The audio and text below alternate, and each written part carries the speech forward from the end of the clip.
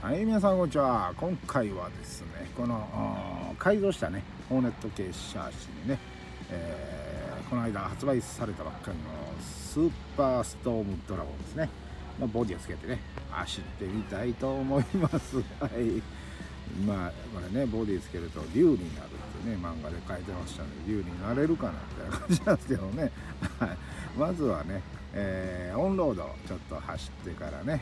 そして、えー、その後にタイヤこれオフロード用のタイヤね今はめておりますのでね、えー、オフロード用のタイヤに、えー、交換して、えいつものオフロードショートコースをね、えちょっと走ってみたいと思います。それでは早速やってまいりまし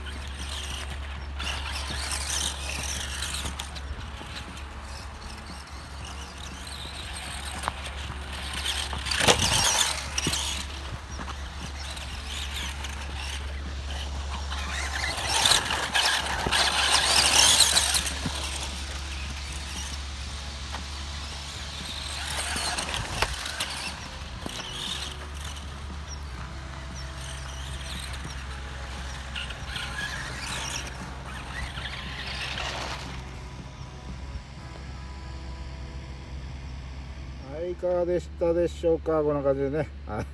こけないように一生懸命気をつけて走りましたよ。はい。スーパードラゴンです。あスーパーストームドラゴンですね。あこけるとねここのねタイヤパターンがガリガリになってしまいますのでね、はい、気をつけて走らないといけないですね、はい、そしてねこれなんとなくいつもより暗いなっていう感じがしてると思うんですよね、はい、こんな感じで今夕焼けになって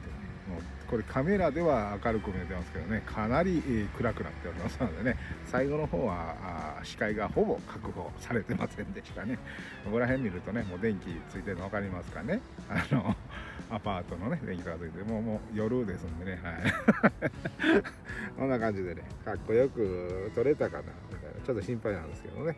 はい。楽しく走れました。やっぱりねこう改造したホーネット系シャーシね性能がいいんでねあの気をつけてこけないように走ってゆっくり走ってもおまあこんな感じでスピードそこそこね出て走れます。今回走りましたあ装備というかねいつもはねリポバッテリー使ってるんですけども今回は昔の雰囲気出すためにニッカドバッテリー 7.2V 使っております。そしてモーターはねタミヤ製のスポーツチューンモーターの新型ですね。つけております。なのでねこの新型のスーパーストームドラゴンにあったね装備になってるんではないかと思いますね。はい。こんな感じではい。今回はね、えー、まあノーマルシャーシではありませんでしたけどもね、えー、スーパーストームドラゴンが走行オンロードオフロード両方ね皆さんに見ていただきました。次回はねこのシャーシですね、えー、スーパーストームドラゴンのシャーシをある程度ニッカドバッテリーでしょうかね。ニッカドバッテリーでねあの普通のホーネト系シャーシで走るのとねやってみたいと思います。ぜひそちらの方を見ていただけたらなと思います。でこの後ねあのオフ会の告知入れときますのでね、はい、2020年11月28日過ぎましたらねここでカットあの止めていただいても結構ですので、はい。えー、バス行けない時はねこの後も見ていただけたらと思います、はい、一応ここで区切っていきますね。それではこの動画面白いと思われましたらグッドボタンチャンネル登録 Twitter のフォローよろしければねサブチャンネルもいたしております。そちらの登録もよろしくお願いいたします。それではさよなら。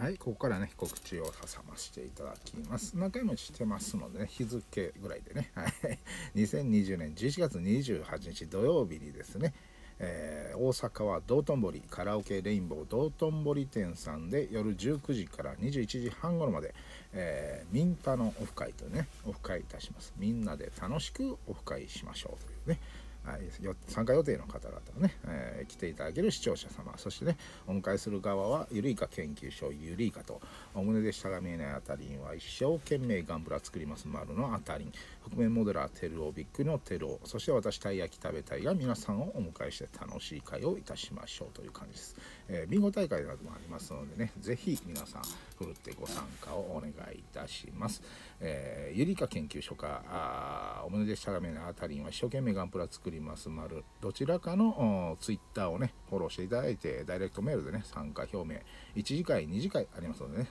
はい。えー、参加表明いただければと。1次会のみ2次会のみ両方みたいな感じでね、はい、よろしくお願いいたします。それではさよなら。